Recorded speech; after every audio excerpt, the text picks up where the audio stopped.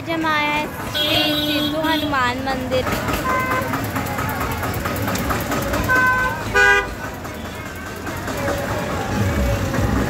Let's go inside.